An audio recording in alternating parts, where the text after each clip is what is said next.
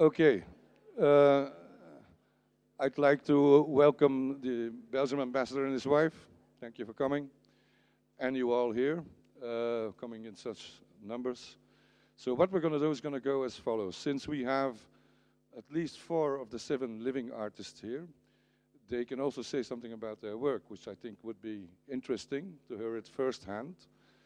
Uh, I'm going to say something really general about the show and talk about specific works, of course, and why the show came about and what it actually means uh, to me and what it also probably means to a couple of the artists and to Ziba and her uh, Parasol unit. And then we, we then you can go upstairs because if we we're also going to talk already about the works upstairs because otherwise if we have to meander all the way up with so many people that's going to be difficult, I think. So, so the gap, why a show about abstraction? When I was asked by Ziba to organize a show about painting, I had the idea to make it a little bit more interesting in terms of just showing new painting propositions or find interesting painters, and also to do something with a little touch of the, little historical touch, like a mini museum show in a sense. And for a long time, I mean, although I am a painter that works with figuration and with departing from already existing imagery, uh, which is referential and which I rework, uh, that doesn't mean I don't like abstraction. I mean, I've always had a very sweet tooth for people like Mondrian, Ad Reinhardt, Ryman, Ellsworth Kelly, which is actually also a friend of mine. And in that sense, there is a reminiscence. It's just that I think the position of the type of abstraction that I'm showing here is very personified. All the positions are different positions from different point of views, from different artistic practices. If we start with the beginning, you're in front of a piece which is actually made by an artist duo, which is Stéphane Schraenen and Carla Arocha, and also Philippe Van Snick, which is actually the oldest living artist in the show.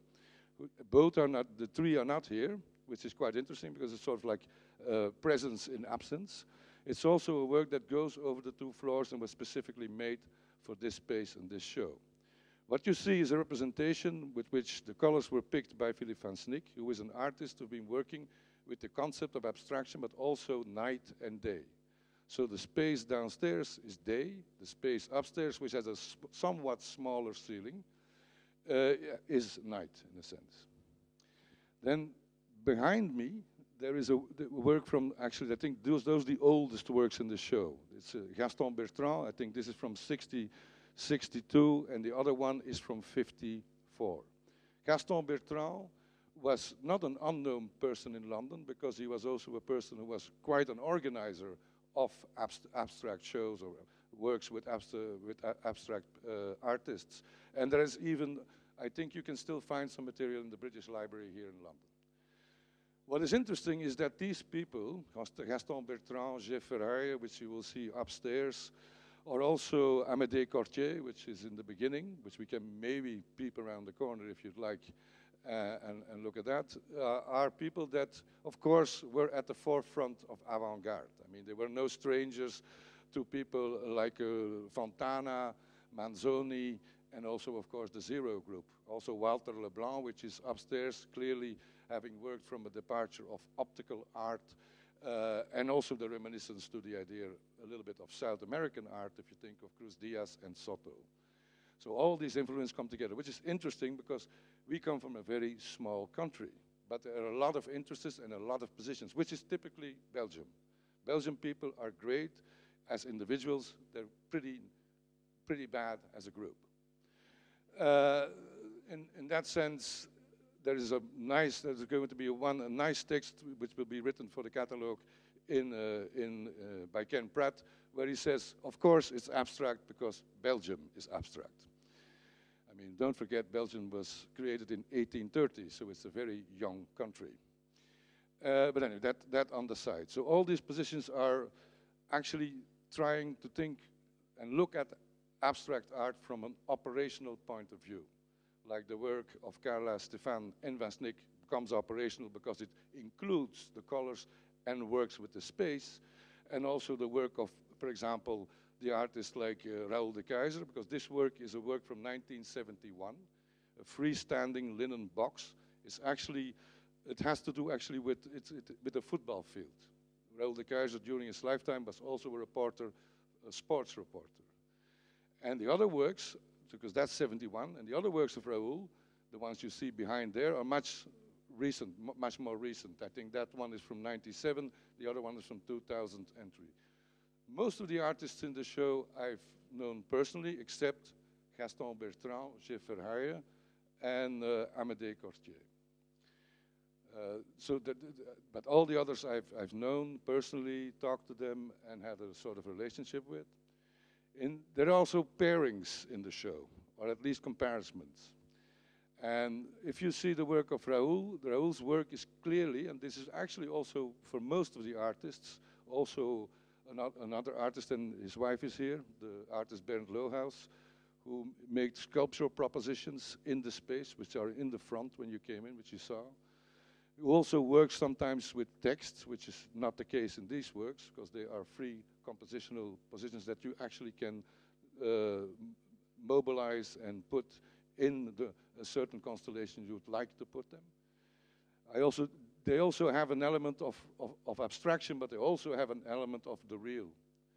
And I think what is important for Belgian art is that one should never forget that when one thinks about Belgium, there are two names that always crop up, which is like René Magritte, which is perceived as surrealism, which he was not, and James Ensor, which is perceived as grotesque and out of this world. He was a clear predecessor, of course, of Expressionism, his own. So in that sense, one forgets that Belgium art actually deals with the real, with realism. And in that sense, there's an element of concreteness which you can see in every work in this show. That comes back, and therefore the abstraction is also an expression that's been experienced and in that sense translates. That is also the case with Raoul de Keyser. I clearly know from fact that we talked and that we had a relationship that a lot of the abstraction comes from out his visual experience and perception. The same goes for an artist like Gert Robijns, who makes actually, there's one wall behind where you see the coat, and actually goes through the wall, you see a constellation in the corner of objects that come out of the house of his, grand, of, of his grandparents and are put in a constellation which sort of like displaces them in the space and therefore makes an abstraction from it. So there are clearly different elements. I also think to show abstraction just in a formalistic way would be actually boring. It would not be able to reactivate it. What's also really important, and this is why the title is The Gap, is that we're talking about two different generations. Two ge different generations who, for sure, people like Gaston Bertrand and some of them may, of course, know them of this younger artist, and some do, and others may not, but there was no clear link, in a sense. Now, if you look at the work of Jef Verheyen upstairs, where you see works from the 70s and I think one from the 60s, a dark painting, which is an element of a dark room. He also made a larger dark painting, which we didn't get from the Museum in Fine Arts in Antwerp, which is a bit uh, bigger, which was made in the 50s, actually the same period of time as Ad Reinhardt made it, from probably different reasons. But if you see the paintings that he makes with degradés, there is a clear linkage to Pieter Vermeersch, in a sense. Whereas Pieter Vermeersch and also, Jef Verheyen had a clear definition and a fascination with light. Light and time. Time is also an, a specific element. I mean, the marble piece of Pieter Vermeersch and, which is a hard structure on which you have a soft structure, which is the paint. Paint as a marker, in a sense. And then the very even, nearly perfect surface of what you could perceive as sky or an uh, environmental or atmospheric image of abstraction that goes in several layers because these layers are minutely painted. This also comes back in a different form, in a form that is even more polished, which is even more about perfection in the work of Boy and Erik Stappaerts. And actually, when, this, when we were unpacking this work and hanging it, Boy told me, this is Boy here, that it's clearly based on old masters. That's what you said, right? So that the, you have the blue for the sky, you have the red for the garments, you have the beige for the color of skin, and why did you have the last ones? Also for the color of the skin or the contrast. Because one should, of course, not forget we come out of the country of Jan van Eyck, hmm, which is the most unforgiving painter of, of all, and probably the best painter in the Western Hemisphere anyway. So fuck Leonardo da Vinci. So in that sense, this show, and this, is the, this was the clear departure. This was also my interest in order to create that situation. There is a beautiful work of Guy Mees upstairs, which also unfortunately died suddenly, which I knew very well because I worked with him at the Rijksakademie in Amsterdam.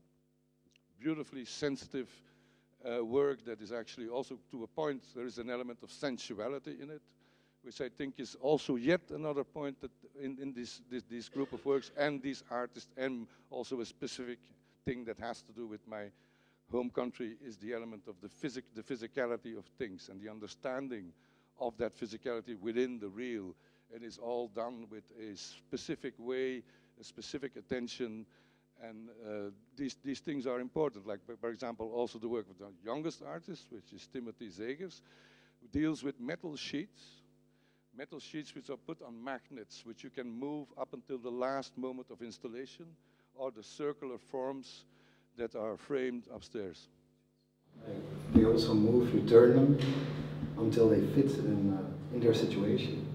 Uh -huh. So I don't see it as an, an abstraction. When you bring it into life, then you, you place it, then it becomes a function. So this is the real, actually. Okay.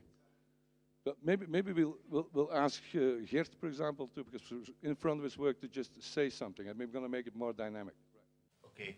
Um, you just described, maybe we have to see first those two pieces, or what you saw in the entrance space.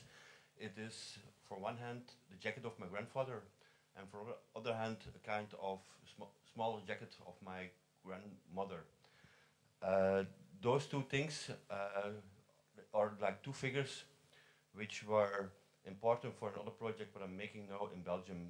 Uh, last year my grandmother went to uh, a house, a rest house, and um, out of that fact came that uh, the family would uh, sell the property and uh, I bought her house not only to keep the house close to me, but to make a project out of that. So what I did was that I making a sculpture out of her house, what later will be a residence place for artists. That was one goal, and but when we were uh, doing that project, I was cleaning up the house, and wh when, while I was cleaning, um, I selected uh, some elements out of that uh, place to replace into another place. So the idea was that we make for one hand a sculpture of the house and for the other hand that we put out, out the elements of uh, like pieces of furniture, pieces of um, clothes, uh, elements which were still hanging and uh, to select uh, objects um, to give the new context. What you see, what you see here is like uh, a shelf that is uh, almost falling apart uh, these are the shoes of my grandfather. Uh, there are uh, objects what he made. Um, and what, is important in this, for these elements is that for one hand that they are very specific um, and the way how we install it is just a bit above from the ground. So actually they uh, goes away from the object itself because uh, of the fact that we bring it in another position, but the fact that we just hang them, uh, they become also uh, not directly objects like what we have in daily life that we are standing around. Uh, and this is what you see here uh, as an installation uh, out of a large project actually. Okay. Maybe Peter, you can say something about your work since you're here too. Um, well, what, what, we see here is basically two tracks um, in my practice. Uh, one is um, the let's say the painter, um, the canvas, the painting the canvas hanging here. My aim with those paintings is to actually bring together uh, a field of representation and abstraction in one. So that you come into a moment, you come before or into a moment where the image we see here can be seen or can fall into the dimension of representation, but also immediately in the dimension of abstraction. So it can flip both ways, and it has this moment of it can be everything. The way I, I conceive, like I construct these images, is uh, really coming from uh, taking a lot of photographs, uh, snapshots of situations where I take away the um, the um, the let's say the narrative of what is recognizable reality. So I take away um, angles, I take away um, things we can directly uh, identify. So I, then I come to a picture which is manipulated into its negative. So there's a lot of kind of manipulation towards an image which I see as a kind of zero degree image, where those both uh, kind of sections, um, representation abstraction, come together, merge together, and can exist as one. Um, then we have the, um, the, the, the, marble piece, which is uh, again a kind of answer to my fascination with time space because there's no time and there's no space. These are one thing. And but it's a complete formal other answer. It's um, it's something which is um, a huge fascination for something which is bigger than us, which is um, history, time, uh, which goes beyond our thinking, and it's a fragment of it. It's a very small fragment of that kind of dimension, which is in front of us and relates to that dimension. And it's it's something that I want to bring back this kind of ungrasp, ungraspable thing to the moment of here and now again, another time moment. So yeah, these are the two things. Okay, there's also an artist we didn't talk about, which is Francis Alÿs, which is uh, quite a very well-known Belgian artist, who up until this point actually didn't really want to be part of a Belgian group show and now is. Which I think is interesting, maybe because of me, I don't know. Uh, but it's just that uh, he is now, and it's also interesting because what also Peter emphasized, and Gert also, and what I also emphasized with this element of the real, of course, is also the case with Francis Alÿs. In that sense, he's no stranger to where we come from. Literally to the point where it's used, where, it's, where, where the, the, the, abstracted image is actually used as a color chart nearly, in the small paintings, which have a specific objective uh, as an object on the wall, because they also work with the idea of structuring, the idea of colors and light, but even up until the point where it's directly on a newspaper. And there is also an image where a part of the actuality is sort of blocked off by the situation. I thought that was also quite interesting to have a work like that next to a work like The Panic Room, where Erik maybe and Boy can say, or Boy and Erik can say something about? Talk about The Panic Room. Okay. I will uh, talk about The Panic Room, also about the paintings. First about the, the Panic the, the, dark room where you can see it's an older work. I think it's 10 years old. 10 years old. It's uh, just in the beginning. It's a black space. It's called Sit in Black Space. And then you have the sculptures, the brain of the panic zone. The idea is that you can uh, sit down and that uh, your eyes adapt to the blackness and that you see black in black. And the, the walls and uh, everything is like matte and the sculptures are like um, reflecting like uh, car spray uh, technique. The idea is that um, this is an evolution who came out of the panic zone, which is uh, another work of me, which I produced before. Um, it's a very anecdotal uh, situation. My mother died. I made a big circle in a block of clay and then pushed a black hole into it. this is uh, the evolution on the panic zone, which is the middle of this uh, panic zone. Uh, but everybody knows uh, the moment uh, when he enters a panic zone, then he has to uh, use all his talents to keep yourself in balance. So it's a, a very uh, collective item. Everybody uh, has this kind of panic zones, uh, and is also mostly able to come out of this. it's like personal treatment. Yeah, the other works. Uh, so I have uh, one of uh, those ones upstairs, big blue one. Maybe the people can go a little bit more on the sides that everybody can see them.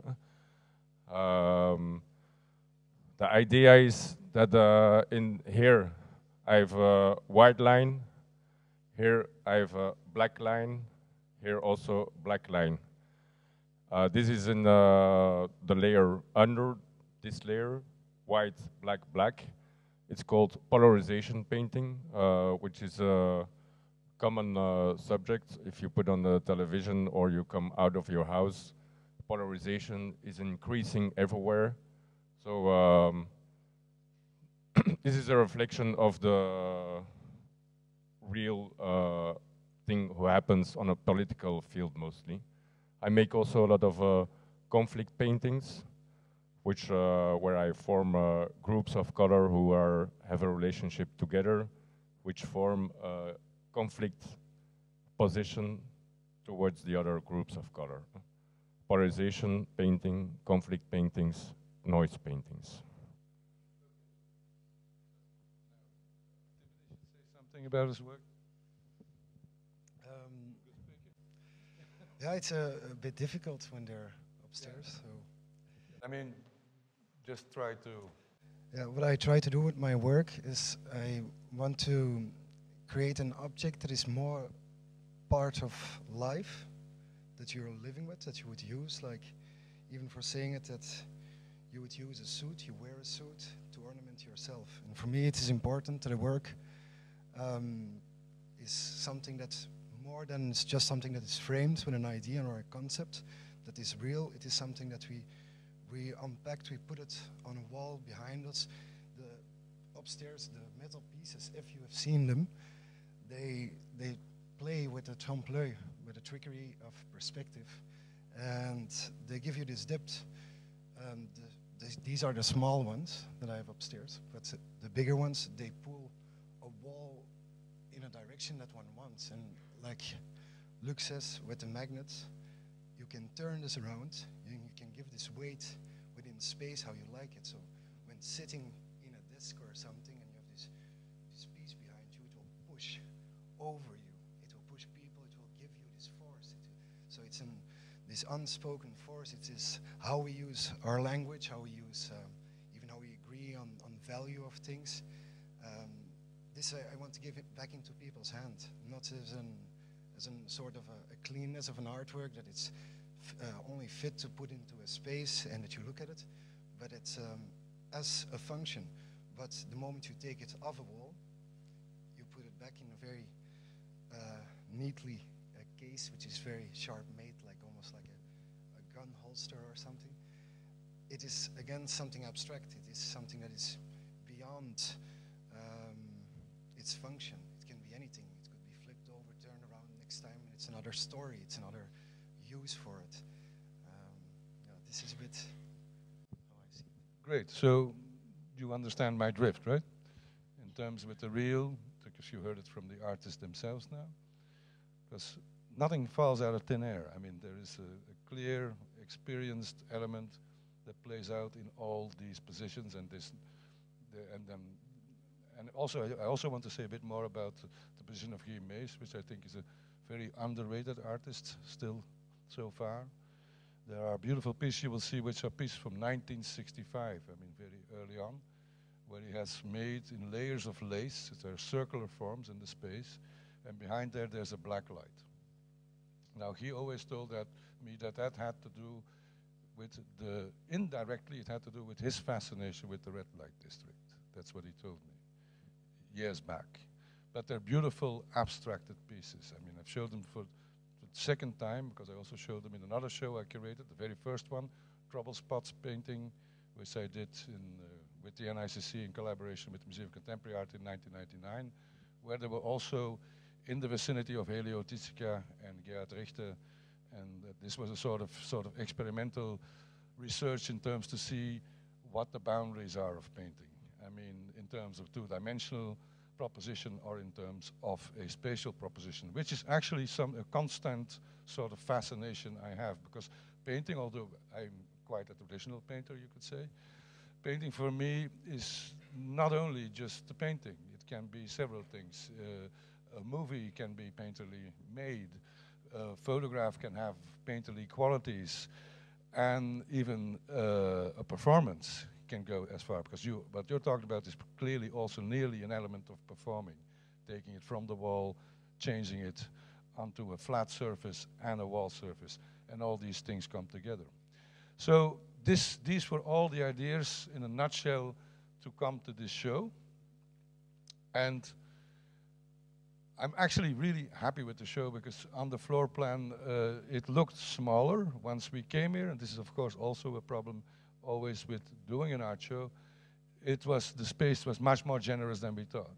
So there was the chance to hang it with with even space, with a lot of space, a lot of air between the works, which I actually like because that also sort of emphasizes uh, and validates every artist in his own right.